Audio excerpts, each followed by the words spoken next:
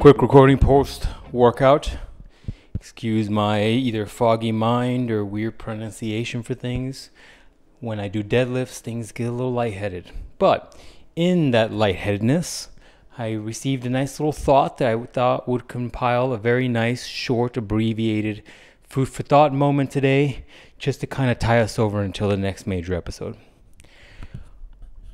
I reached a small epiphany today during my workout, once again in the middle of my lightheadedness, where this thought came to mind. One of the keys to life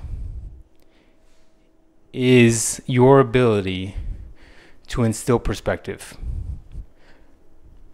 I sat there in my workout, tired, exhausted. I'm playing this Spotify title. I don't know what this app is. No free ads. And you know, I, I was tired. I didn't want to do the workout. I didn't want to do the set. And then automatically, you know, it's a playlist that I didn't generate. It, generates automatically. Some of you young kids are aware of this. And the next song came on, and it was a song I love and I haven't heard in a while. And all of a sudden, energy came back. I had the the the motivation, I had the inspiration, I had the the the the, the drive to get these sets done, and I got it done. And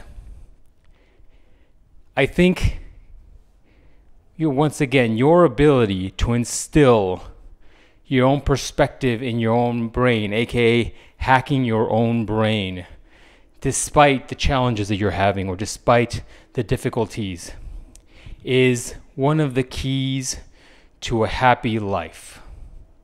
Because just like I was in a not so opportune, perfect moment to do what I need to do in that moment, um, and, and something as simple as a song can change that, that means that whatever it is inside of you that you need to do, whatever it is that you need to get done or motivated to get to, to accomplish, or the things that you just need to do that you are mad at having to do or challenged to do or whatever the situation is, it's really up to you and the perspective you have in that moment.